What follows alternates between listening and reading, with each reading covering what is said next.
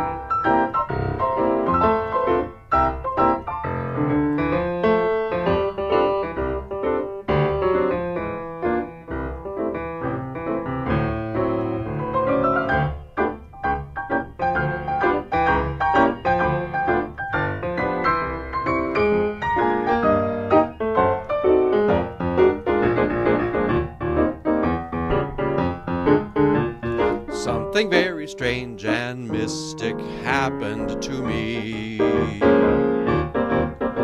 Something realistic and as weird as can be. Something that I feared somehow has now endeared to me.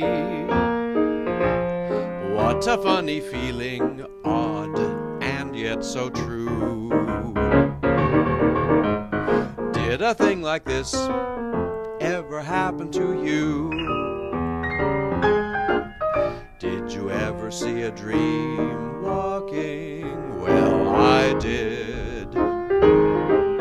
Did you ever hear a dream talking? Well, I did. Did you ever have a dream thrill you with will you be mine?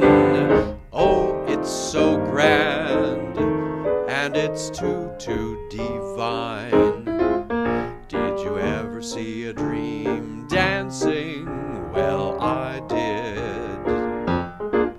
Did you ever see a dream romancing? Well, I did.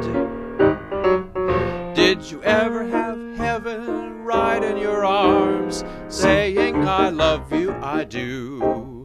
Well, the dream that was walking and the dream that was talking and the heaven in my arms was you.